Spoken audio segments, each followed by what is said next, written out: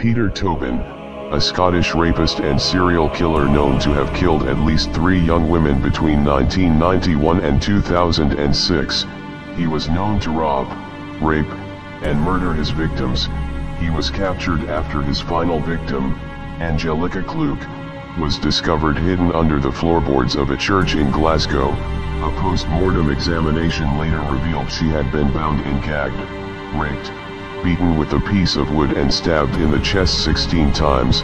In 2015, Peter Tobin was left severely injured and permanently disfigured by a fellow inmate when he was attacked with a razor blade.